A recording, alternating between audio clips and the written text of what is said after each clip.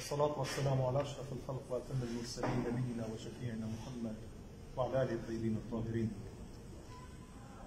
يعني لنا في أهل البيت أسوة حسنة وبصبر أهل البيت في مصاب كربلاء والله سبحانه وتعالى سيجد إن شاء الله من الصابرين.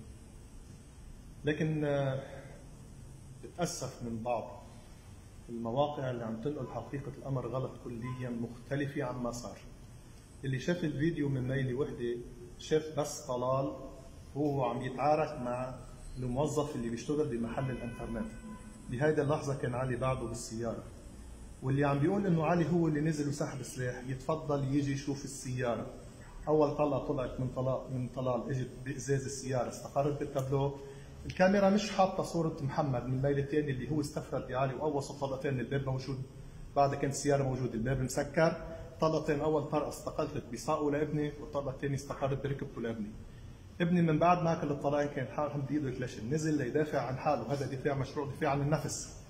فباشر بإطلاق النار صاب يعني واحد منهم بخصرته باجره والثاني صابه باجره هذا كان دفاع مشروع. بس ما قبل منا كان في تهديد على التليفون.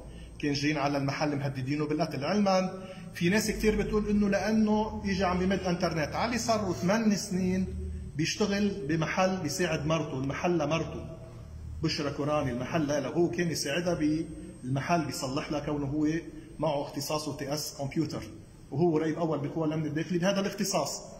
ف كان يساعدها. فهن اللي إجوا على المنطقة مش علي اللي اجى لعندهم هن اللي إجوا على المنطقة وهددوه قالوا له بتسكر محلك وبتترك الشبكات ولا نحن رح نقتلك ونفذوا اللي وعدوا فيه. أنا هون بدي أقول لهم لأهل بعلبك اللي هن أهل الشرف. واهل الوفاء واللي قدموا شهداء للمقاومة وشهداء على ساحات الوطن واللي هني أنا برفع الرأس فيهم وحتى بيت حمية اللي أنا بحبهم وبحترمهم وبجلهم. مش معناتها إذا فرد غلط معناتها كل أهل بعلبك غلطوا ولا كل أهل البقيين اللي غلطوا لا بالعكس. أنا زلمة أثق ثقة كاملة بسماحه بحضرة اللواء فؤاد عثمان اللي هو مدير العام لقوى الأمن الداخلي اللي أعطى كل الرعاية بالتحقيق وأنا بحترمه وبجله لهذا الشغل. وأنا بتوجه لحضرة اللواء إنه علي استشهد مش توفى مثل ما طلعت البرقيه علي استشهد لأنه مات مظلوم والشهيد اللي بيموت مظلوم يعتبر شهيد. ثاني شغلة كمان يا حضرة اللواء المدير العام علي عنده بنت عمرها ثلاث سنين هيدي البنت صارت يتيمة هي مين مسؤول عنها؟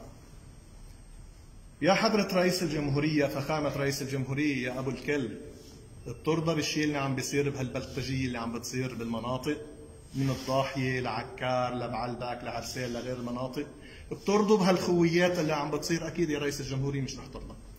وأكيد يا دولة الرئيس بري مش رح ترضى. وأكيد يا حضرة رئيس الحكومة يعني حضرتك أنت عندك بي شهيد. أكيد ما بترضى ابني كمان الشهيد يروح دمه هيك.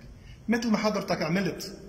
المحكمة الدولية لتحصل حق بيك أنا بطلب منك ومن دولة الرئيس بري ومن رئيس الجمهورية ومن سماحة الأمين العام بحزب الله السيد حسن يحصلوا لي دم ابني. لأنه إذا ما تحصل دم ابني حيضلوا الفلتان وحتضل الزعرانات وحتضل البلطجية وحيضلوا السلاح ثالث وحيضلوا يسقط شباب وكل يوم رح تبكي أم وكل يوم رح يبكي بي